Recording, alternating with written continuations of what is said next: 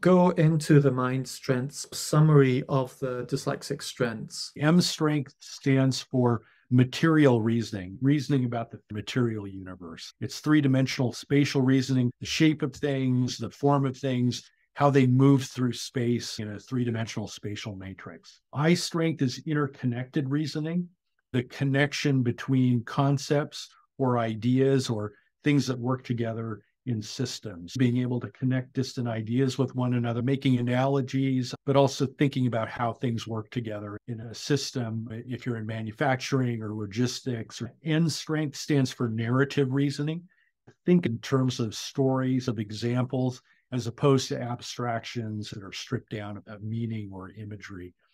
D strength is dynamic reasoning, this mental simulation system that you have to think forward over time or think backward over time and predict